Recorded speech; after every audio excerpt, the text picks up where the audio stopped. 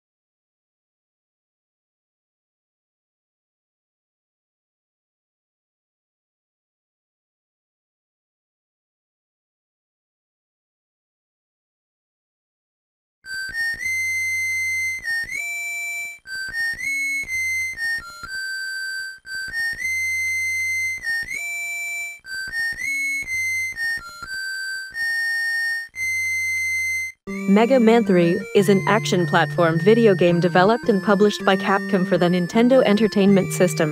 It is the third game of the original Mega Man series and was originally released in Japan on September 28, 1990. The game localized in North America later in 1990 and in European regions in 1992. Taking place after the events of Mega Man 2, the plot follows the titular hero as he helps his creator, Dr. Light, and a former villain, Dr. Wily, collect parts for a peacekeeping robot by defeating several robot masters that have gone haywire.